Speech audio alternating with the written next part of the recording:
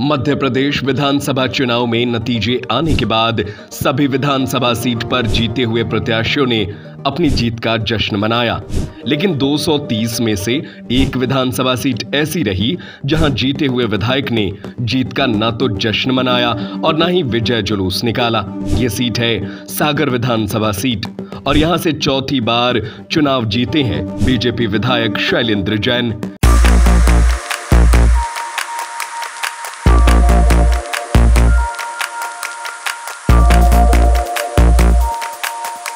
एक तरफ़ जहाँ मतगणना स्थल पर कई प्रत्याशी अपनी साँसें थामे नतीजों का इंतज़ार कर रहे थे, वहीं कुछ प्रत्याशी अपनी जीत को लेकर आश्वस्त होने पर मतगणना स्थल पर पहुँचे।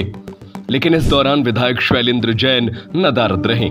देर शाम तक वो और उनकी पत्नी अनुश्री जैन के साथ घर पर ही पूजा पाठ और चुनाव के नतीजे देखते रहे, लेकिन जीत के बाद भी वो मतगणना स्थल पर नहीं पहुँचे।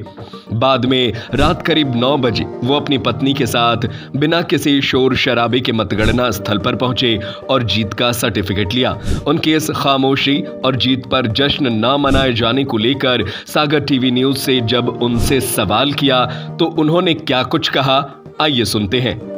चुनाव परिणाम आने के समय काउंटिंग के समय आमतौर पे मैं लास्ट राउंड में वहाँ पहुँच जाता हूँ लेकिन इस बार मैं जानबूझ के नहीं गया क्योंकि हम किसको हरा के विधायक बनेंगे? तो ये एक असहज स्थिति थी।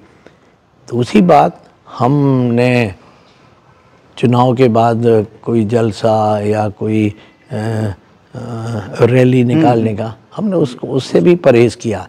क्योंकि ऐसी परिस्थितियों में हम कटुता को और बढ़ाना नहीं चाहते थे इसलिए हमने इन सब चीज़ों का परहेज किया।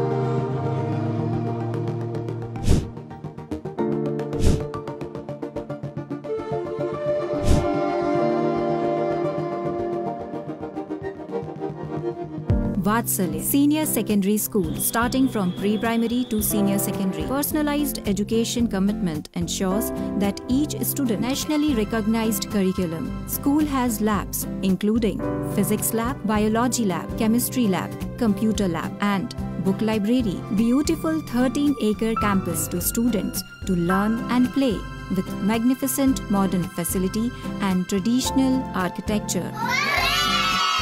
Vatsalya Senior Secondary School is one that any student would love to explore. I love my school. And determinations, sports, activities, and dance room Vatsalya reshapes one student at a time to build a strong community. Vatsalya is where education meets excellence.